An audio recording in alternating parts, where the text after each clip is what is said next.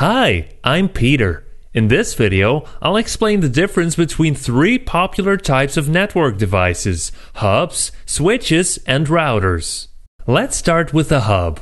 Hubs are cheap and simple devices that can connect a bunch of computers to each other, but they're a little wasteful with bandwidth. Here's how they work.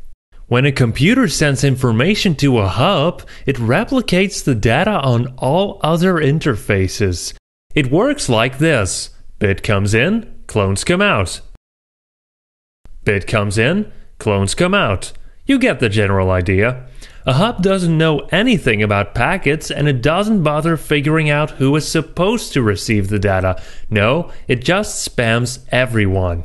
The receiver will get the message, and the other hosts will ignore packets if the receiver field doesn't match their own address. Not bad for a glorified bit cloning machine. Alright, so every incoming bit is replicated on all other interfaces. That's a fairly simple and cheap way to create a network. However, it does cause a lot of unnecessary traffic. If you have five hosts in your network, hubs unnecessarily send every packet to three hosts that aren't interested. That's a huge waste of bandwidth. Also, keep in mind that other people in the network can see your traffic if they use free software like Wireshark. If you're embarrassed about your addiction to funny cat videos, maybe hubs aren't your best choice. Now, wait a minute, there's a better way to do this. If our hub kept a list of where every host can be reached, then it would be able to send every packet straight to its destination without spamming the entire network. That's what switches do. In this example, we've plugged in computer A to port 1 and computer B to port 6. Each network card has a unique address that switches can use to identify a computer. They're called MAC addresses. They're not only used for Ethernet connections, Wi Fi uses it too. If computer A has a MAC address of 6 times AA, then the switch will know that the computer with that MAC address can be reached on interface 1. In addition, we know that computer B, which has a MAC address of 6 times BB, can be found on interface 6. All this information will go into the switch table. Now, for this example, I will add two more computers. Computer C is hooked up to port 3 and computer D is hooked up to port 4. We have our network now. Let's see how it works in practice. We always start with an empty switch table because the switch has to learn where everything is. And in this example, we will send a packet from computer A to computer C. At this point, the switch does not know where C is, so it will just behave like a hub and flood everything. But it's learning. By checking the MAC address in the packet sender field, it learns that computer A can be found on port 1. It will store this information in its switch table. Now watch what happens when we send a packet from computer C to computer A. Since the switch knows that computer A can be reached on port 1, it doesn't have to flood the entire network.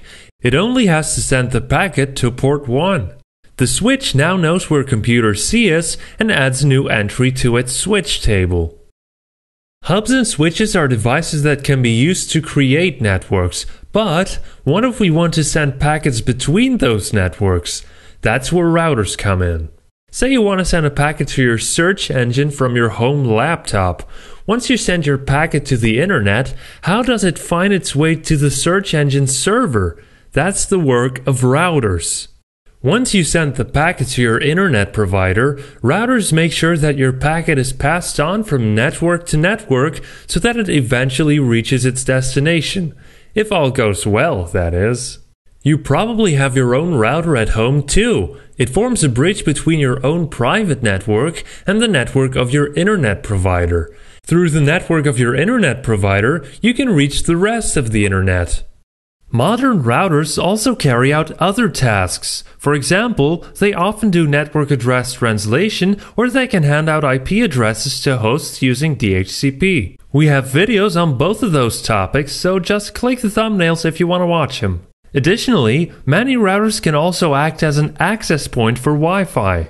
Now that we've gone over all three devices, let's compare them. It is worth pointing out that hubs, switches, and routers each operate on a different layer. You may recall from other videos that every packet traveling over the internet consists of five layers. The physical layer is just raw ones and zeros. Since hubs just replicate bits, they operate on the physical layer. The link layer is specific to the medium over which the packet is traveling, such as Ethernet. MAC addresses are part of this layer. Since switches rely on MAC addresses to get packets to the right destination, they operate on the link layer. The network layer is where the IP protocol does its job. A packet's source and destination IP addresses are stored here, among other things. Since routers work with IP addresses, they operate on the network layer. Right, so when should you buy a hub? Generally speaking, don't waste your money on them. As we've discussed, they're huge bandwidth wasters, and although it used to be that switches were a little more expensive than hubs, that's no longer the case. So if you're gonna buy a hub, just buy a switch. There are some special use cases for hubs, though. For example, they can be used to tap internet traffic for analysis. The main advantage of switches over routers is that they're cheaper. If you need to connect to other networks, you can still connect the uplink port of your switch to a router. In fact, you can connect multiple switches to the same router to save money. Switches are less complex than routers, so they can handle traffic faster than routers can. This is great if you want to minimize latency, perhaps during a LAN party with your friends. However, routers often have a built in Ethernet switch to handle internal traffic, so switches aren't necessarily faster. The main purpose of routers is to connect networks to one another. Routers often support network address translation, which is necessary if you want to give computers with a private IP address access to the internet. Unlike your average switch, routers often have a DHCP server on board. Thanks to DHCP, you don't have to manually configure IP addresses for all hosts in your network.